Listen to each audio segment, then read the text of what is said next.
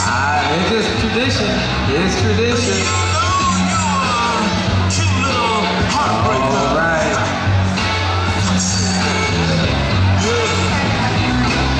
Oh, he did it with the teeth, ladies and gentlemen. You're missing it.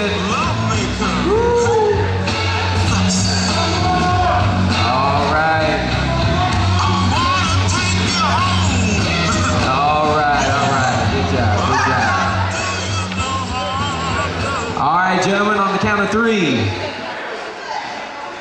One, two, three. All right, it was a, a joint venture. Good job, guys. Congratulations.